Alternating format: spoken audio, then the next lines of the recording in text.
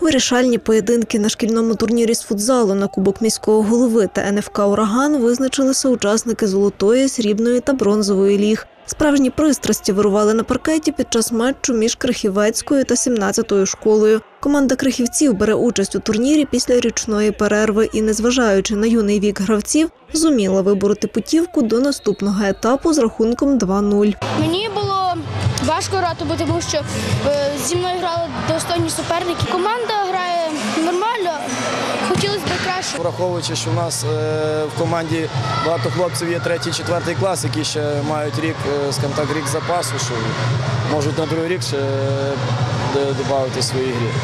Я думаю, що як для цієї команди е, вихід е, навіть в бронзову лігу, я думаю, нормальний результат. У цьому сезоні, кажуть фахівці, розстановка сил на турнірі суттєво змінилася. З'явилися нові фаворити. Пов'язують це зі зміною поколінь гравців. Найяскравіше себе проявили е, команди загальноосвітньої школи номер 24, 22, е, школа ліцею номер 23.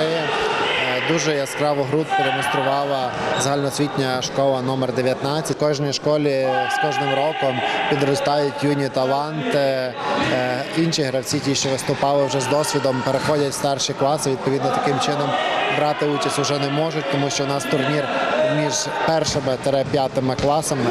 Відповідно, багато шестикласників, які були з цього року вже не грають. Загалом до основного етапу вийшли 24 команди, по три у кожній лізі. Ольга Рега, Сергій Попович, телеканал 402.